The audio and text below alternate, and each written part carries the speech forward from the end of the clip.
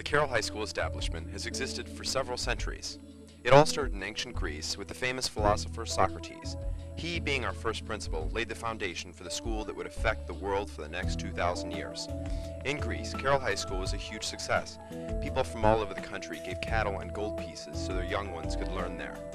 Carroll was the starting point for many famous philosophers, including Copernicus, Pythagoras, and the only teacher to last the 2,000 years and still lives today to tell about it, our very own Mr. Heider.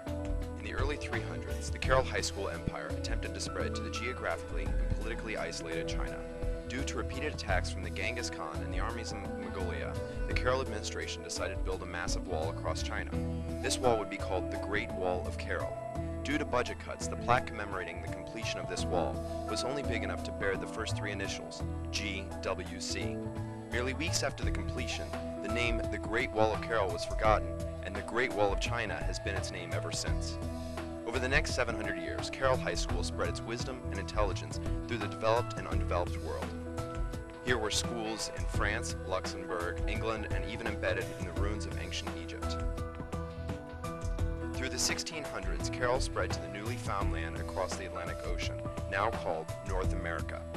The experienced teachers at Carroll High School taught the Puritans in the area to live in peace and harmony with the natives of the area.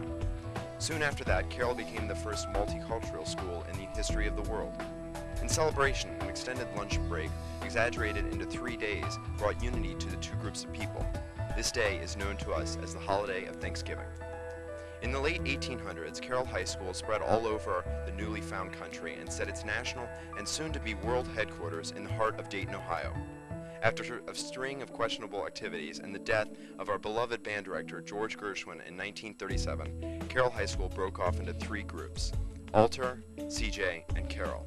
The Dayton area, along with the rest of the world, was shell shocked. The only recorded reasoning was due to disputes in school mascot and colors. Throughout the entire 20th century, Carroll High School has been the core of many inventions and developments that have shaped the base of the modern world.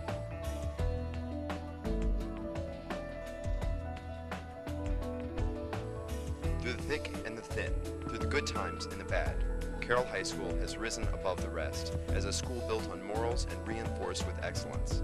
From the moon and beyond to the city of Riverside, Carroll students have formed this world into what it is today. Join the legacy of excellence. Join the triumph of the will.